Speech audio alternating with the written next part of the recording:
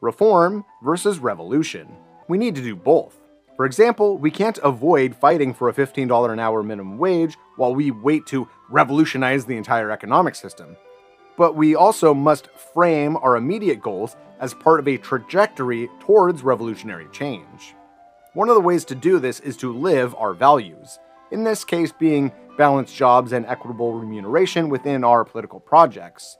This might sound overwhelming, like crazy hard to do within a capitalist system, but imagine it this way Let's say that we live in a racist society. I know, crazy, right? But, but let's just imagine that we live in a racist society. Now, if we want to create a political organization, it stands to reason that we would want that organization to be anti racist, even if that puts us at odds with the rest of society.